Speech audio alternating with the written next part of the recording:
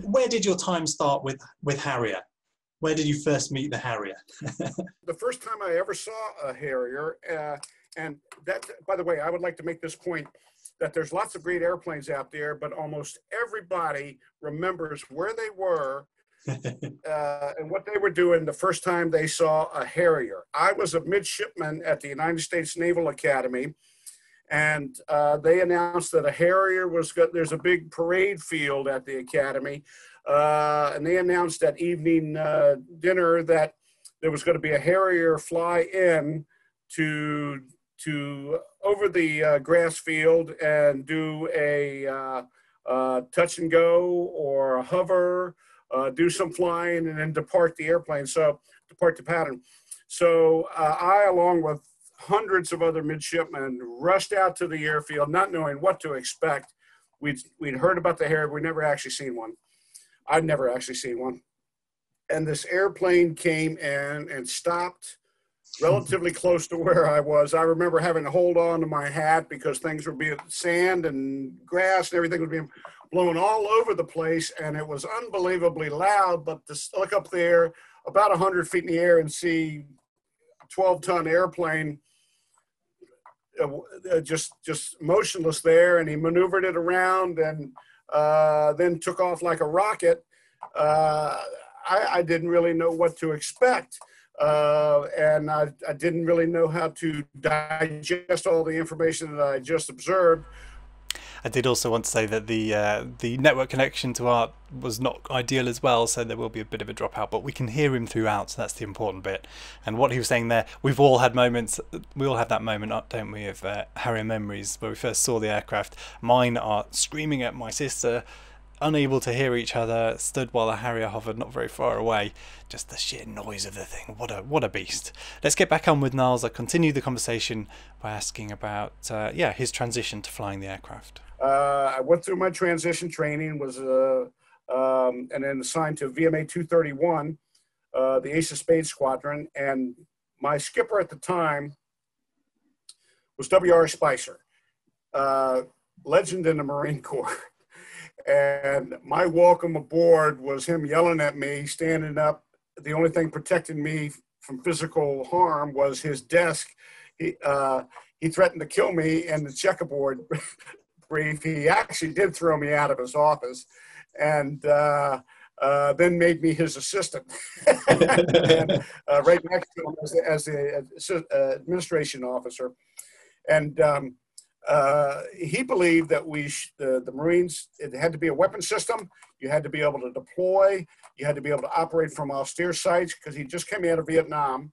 as Force Recon enlisted and then went back and be uh, two tours as a pilot, flying helicopters. And we practiced packing up, deploying to someplace in the United States, unpacking, operating out of whatever you brought. If you didn't bring it, you didn't have it. You weren't going to go down to Kmart or Walmart to get it. You had to do without. Uh, next time, don't be so crazy. And um, the uh, uh, pack back up, come back, and then a couple weeks later, we do the whole thing all over again. We were on ship. We were at airfields. We did. We bombed seven days a week, pretty much seven days a week. Uh, but we, we flew seven days a week. We bombed five days a week while we're back. Once the week work was over, he had us go on a cross country to get extra flight time because the Harrier does not have very long legs. 45 minutes, our typical sortie with tanks was 45 minutes, mm-hmm. 0.8. Um, where somebody flying the A4 would get a 1.2, 1.3. So we weren't building the flight time like the A4 guys were. And he says, the only way you got to do is go on a cross country. So we would go on a cross country and be expected to come back with at least 10 hours of flight time and and actually do low level do low low level navigation on the cross countries. So that was my first introduction to the Harrier, and it was drinking from a fire hose and doing everything that the airplane could do. And there's an awful and lot. I, and I tell you what, I, am thankful for that because a lot of mm. people didn't get that that trial by fire. Interesting, and it sounds like yeah. Talk about fire. The the the, the versatility of that aircraft throws an awful lot as a as a yes. pilot to, to deal with, to learn, to, to manage. Uh, it must have been, yeah, trial by fire indeed. Yeah, interesting. And I can understand having gone through that, how you're then vis- how you're you must have fallen in love with that aeroplane. I did. I did. I've had the great fortune throughout the military to fly. I don't know what the number is. I stopped. I actually stopped counting. I uh, I say the number 85. It's probably above that. Uh, somewhere between 85 and 95 different types of airplanes. The Harrier is my absolute favorite, and that's the benchmark that I compare everything else to. Mm-hmm. Uh, the uh, before I actually flew, I had a chance to talk with John Farley about his philosophy, and I told him I had bought a Sea Harrier, and he says, "Well, you bought the best of breed." He said, "Let me tell you, they're they're not all the same, but the Sea Harrier, in particular, he always that was his favorite, and it's become my favorite too. The um, because of the raised canopy, the visibility is a little bit better." he thought the flight controls were a little bit better. I didn't have the I didn't have the experience at the time as a young lieutenant flying to realize, but now I know I know now having flown the AV-8B and the Sea Harrier and the AV-8A, the Sea Harrier uh, I can hover it hands off, um, trim it up, and take my hands right off the stick, and it'll hover um, just fine. And the uh, it drifts with the wind a little bit. That's okay. and um, I really, really, really do like the way it flies. Tell me about the restoration, and I call it a restoration, but bringing that aircraft back to flying it, status. It, restoration might restoration may be inaccurate. It mm-hmm. was uh, preparation for civilian flight because um, the outside of the airplane looks basically stock. Okay, we were missing a few parts. that uh, a pylon cover, we made one of those out of some fiberglass. That's, that's non-structural or whatnot. Um, uh, we uh, uh, we took out a lot of extra uh, um, wiring that we didn't need. I think it was 40 or 50 pounds of wiring. It didn't have a ra- doesn't have a radar in the nose, so we had to replace that with about 66 pounds of ballast. Uh, to get it to where actually we started with 80 and then I, I took some of it out i didn't like the way it flew um, and we've got a civilian radio civilian gps we took the head-up display out after the very first flight. It, it did not work, and it was 48 pounds of extra weight uh, that uh, if it's not going to work, we're not going to put it in there. And my landing aid, uh, a lot of the F-30 pilots, 530 pilots are a lot of suppressor. I've got a piece of black tape across the windscreen that sitting on the ground statically will be this far below the horizon and I, I just put it on the horizon. The, the airplane doesn't care what airspeed it lands at.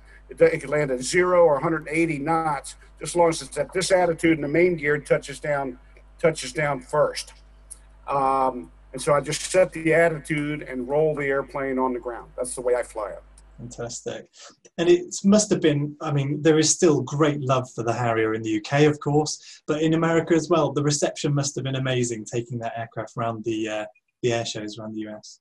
We're the rock star at the air show. Mm-hmm. The, it's not, it's, there's no question about it. Um, to the point that one of the first air shows we did, um, we were getting ready to, to fly and there was a civilian performer flying uh, just as soon as we started the APU, the you can it's noticeable, noticeable sound. The crowd started like a tsunami. I was unaware. I was oblivious to it because I'm going through checks and looking at temperatures and stuff. But one of my buddies was an observer, and he just watched the way the crowd came over there. People were coming out of the porta potties. They were getting out of line to get a corn dog and they just a tsunami of people that came over there to watch us and we later became aware that that's um, that's unfair of us to some of my friends that are performing. You know that that uh, there's some of my friends too and they're doing a good job and they're up there. So so we actually we modified the way we do this. We tried to be off to the side or something or make that part of uh, um, Uh, make sure that the, the air boss knows that that as soon as we hit that start button the crowd's going to stop paying attention to the other performers and they're going to be looking at this. So we build that actually build that into the schedule. And we can start go through our checks in about a, in about two minutes. It's under two minutes because there's not there's i don't have any INS to align I'm not, not any weapon systems to arm. By the time the engine's running, the GPS is already up.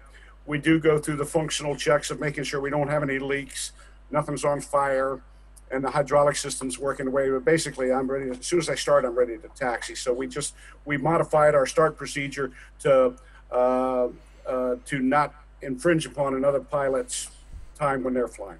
All good things must come to an end then, and uh, I know the, the aircraft are, are now up for sale. Are, you, are they? When's the last time the aircraft flew? Well, there's an interested buyer from the UK. Ah. Uh, there are a couple. There were a couple from the United States that um, we put them on the market at the wrong time with COVID. It's, that shut down the air show industry, and I made it absolutely clear to the broker I wasn't going to sell the airplane to anybody just because they could write a check for it. Uh, it had to be the right person. It had to be the right person that could uh, I could pass the torch to that, that I could while I can uh, still legally train somebody to fly. I could teach them to handle the airplane safely and competently and would be part of the deal as a consultant, as an advisor, as a ground observer, uh, in some capacity like that. Um, but it wasn't going to be just someone with an ego and a checkbook that I was going to sell to. That wasn't uh, that wasn't going to happen. And um, uh, we've had a couple interested persons from the United States. Uh, we had two calls on one day recently, actually, and that got me thinking. It's been on the market for a while, and then we get two calls in one day. What is happening on the international market that would stimulate that interest? And um, uh, I, I, I think that drove more interest in the two seater. The two seater, I think, is really the valuable part of this. We're very close to flying. Uh, there's no re- there's no reason we cannot fly it. The U.S. government's going to let us do it. We've got experience in doing it. It's not a it's not a new thing, and uh, we've got we've got everything we need to get that airplane in the air. We've just sort of stalled it for the past couple of years due to finances and some other stuff. We've got ejection seats. We've got um, we were we had some problems with the hydraulic uh, actuators for the ailerons. We got those.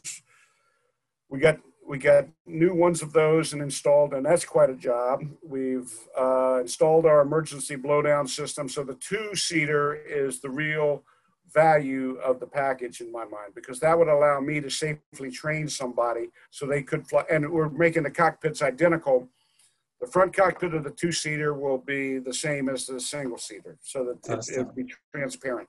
Well, it's interesting you mentioned a, an interested party in the UK. I can certainly imagine a few people in the UK who might be interested, but what would stop the Sea Harrier flying in the UK? Are you familiar enough with the regulations well, over here? Dan Griffith and I tried this uh, several years ago. Um, we, we petitioned the um, CAA to bring it back and fly it. And we had a large package and they asked a bunch of questions. We had to analyze acts, uh, previous accidents, what happened, what what's been fixed to, uh, to prevent that again. And um, it all hinged on um, original contractor support yeah. from, they used the, the question, the question was, who was going to support this? And I'm not sure we understood what the question was for support. They what they meant by that was Rolls Royce and British Aerospace, and the Hunter accident. Uh, Rolls Royce had, it's my understanding, they had 11 lawsuits for an airplane they hadn't touched and didn't have any responsibility for over decades, yet they were still sued by that. So um, and you could probably throw Martin Baker into the uh, into the mix with that as well. That uh, they would be terrified of a lawsuit should something happen, and my response to that was, well, can we sign away? The, can we release liability in some way? Some have a lawyer draw up some document, I'll sign it. That uh, uh, I I don't think that's going to happen. Um, and when we purchased the two seater, the uh, there was an original clause in that document that we needed to obtain an insurance policy to indemnify the uh, seller on the order of 100 million pounds. And that seems like a large number to me. uh, and we were, we were, we were able to remove that clause because, first of all, I don't think you could get it. And second of all, the cost would be unbelievably prohibitive. So it may or may not happen. It would take um, it would take a change in mindset, I would think, and maybe that's happened now because there's a couple people trying to fly a two-seater in the UK. Uh, maybe things have changed. Maybe people say, well, based on what these guys have done in the United States, and we're hoping that that that our that our record of 14 years of doing it can help build a, a, a case. We if we fly it different than the military does. Uh, first of all, we're not going to do an air show in bad weather. The, very few air shows are done off of a carrier launch. Uh, very and and the emergency procedure really for almost everything is stop and land. Mm. We could have an emergency, and we've had one during an actual air show where we stopped and landed, and the crowd didn't know any difference. The um, uh, because you come into a hover and you land and say, "Well, the air show's a little shorter today," and it the crowd doesn't know any different. They still think it was a great air show.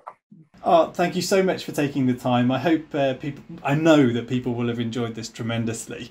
So thank you for uh, filling in a little bit of the hole that the air show season has sadly left us this year.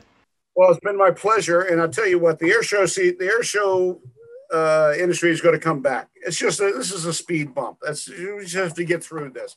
A, a vaccine is on the horizon, um, and it'll be no different than any other uh, illnesses out there. Get vaccinated for it, and you'll be good to go. Air show season will be back. People will be able to social distance.